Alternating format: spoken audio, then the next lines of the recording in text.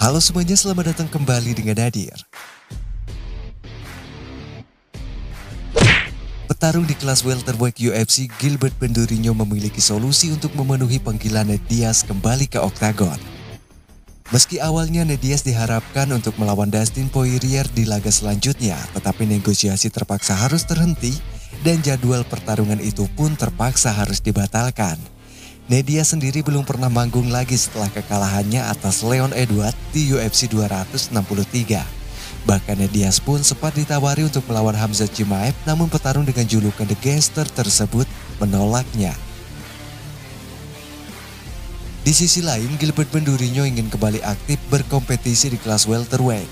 Meski telah mengalami kekalahan telak dalam pertempuran melawan Hamzah Chimaev, Gilbert Bendurinho tampaknya ingin cepat-cepat kembali ke oktagon.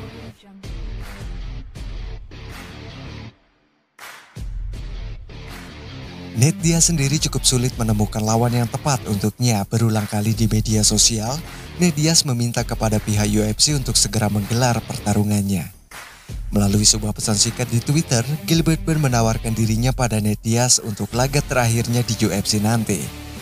Saya telah mencoba untuk melawan semua orang dan tidak apa-apa UFC, aku tidak melawan Conor, dia menyebalkan. Saya akan melawan seseorang, tolong berhentilah menggulung saya dengan lambat, terima kasih. Tulis Nitya seperti yang dikutip dari Twitternya. Kemudian Gilbert Burn pun merespon tulisan Nitya tersebut. Lawan aku Nathan, dilanjutkan dengan kutipan berikutnya ia mengatakan, Mencoba melawan semua orang, saya kenal seorang pria, Ed Ned Diaz. Tulis Gilbert Burn di Twitternya. Melihat dari tulisan Ned Diaz yang ia posting di media sosial, sepertinya pihak UFC menginginkan Ned Diaz menjadi lawan berikutnya untuk Conor McGregor. Namun Nedia sendiri agaknya kurang begitu tertarik melawan petarung asal Irlandia tersebut. Lantas bagaimana dengan Gilbert Burn? Apakah pihak UFC akan merestui duel itu? Kita tunggu saja.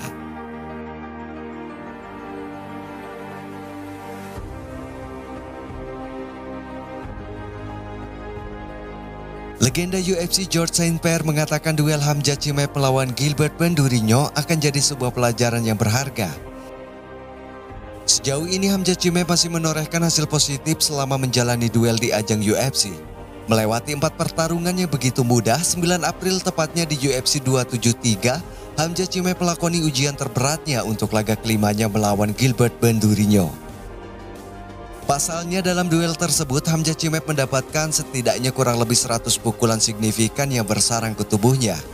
Di sisi lain, legenda UFC JSP memuji penampilan Hamzah Chimaev yang telah menunjukkan ketangguhannya yang luar biasa. Namun legenda UFC tersebut menyarankan agar Hamzah Chimaev untuk tidak bertarung dengan barbar seperti itu lagi. Saya pikir itu adalah pertarungan yang hebat untuknya. Dia membutuhkan ini karena dia melewati semua orang seperti mentega. Anda kadang membutuhkan beberapa kesulitan karena dari kesulitan Anda bisa menjadi lebih baik. Anda meningkat, jadi saya pikir itu pertarungan yang bagus untuknya. Saya suka melihatnya bertarung, tapi saya tidak berpikir dia bertarung dengan cerdas. Mungkin dia terbiasa melalui semua orang dengan cara seperti ini, tetapi Anda tidak bisa bertarung dengan cara ini untuk di level elit. Anda perlu mempersiapkan diri, membuat rencana permainan, dan Anda tidak bisa hanya pergi ke sana hanya sekadar untuk bertukar pukulan dengan seseorang seperti ini. Kata JSP yang seperti dikutip dari MMA Junkie.